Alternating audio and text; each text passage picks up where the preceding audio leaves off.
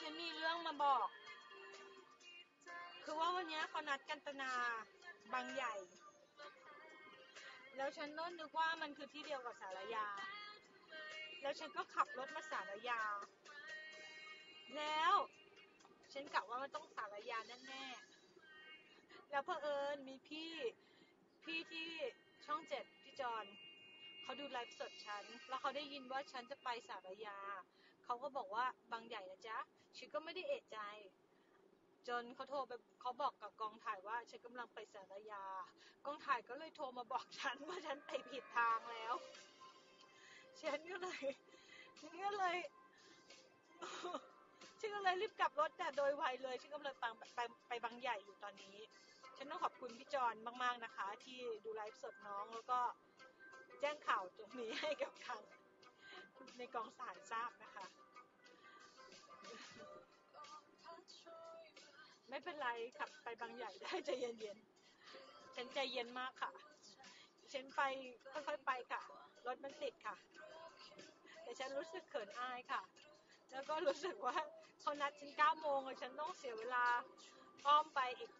ก็น่าจะประมาณสิบห้านาทีนะคะ ดีฉันไม่ไปไกลกว่านั้นฉันอยากจะไม่รู้จะพูดว่าตัวเองยังไงนะคะ ไม่รู้เรื่องเลยานมาตั้งกี่ปีเลยไม่รู้กันตนาบางใหญ่เป็นคนละที่กับสารยา เคยไปด้วยนะทั้งสองที่แต่แบบจำไม่ได้ไงงงนึกว่ามันอยู่ที่เดียวกันค่ะ จินตนาการฉันสับสนไปหมดฉันเลยต้องทิ้งไลฟ์สดไปพักเลยนะคะ ต้องขอบคุณพี่จอนนะคะ ที่เปิดมาเห็นไลฟ์สดพอดีงั้นน้องก็ไปบางย้ายไปกันตนาสารยาแล้วเรียบร้อย งงมากไหมคะ งงแง่ง งแงงมาก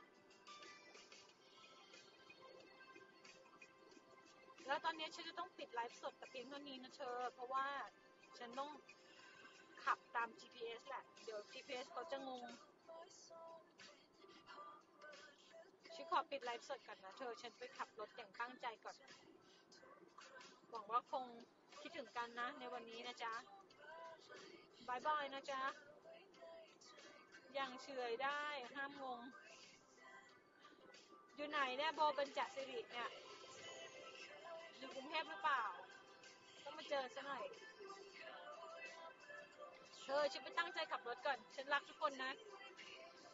หวายนี่สำหรับ Chinese fan หวายนี่บายบาย